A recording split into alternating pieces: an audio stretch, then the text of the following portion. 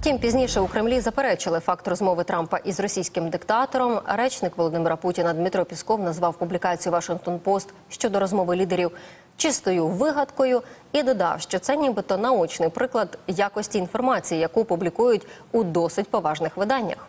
Однак слід зауважити, що напередодні Пісков заявляв, РФ побачили позитивні сигнали з огляду на обрання Дональда Трампа президентом США. Водночас минулого тижня Трамп і сам допустив, що може поговорити з Путіним. Не виключив такої можливості і сам російський диктатор.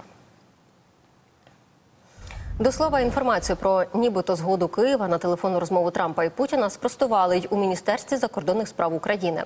Як повідомляє агенція Reuters, речник МЗС Георгій Тихий заявив, що е, ці повідомлення не відповідають дійсності. Та цитую, українська сторона не отримувала попереджень про нібито телефонну розмову між Трампом та Путіним, тому не могла підтримати чи заперечити щодо її проведення.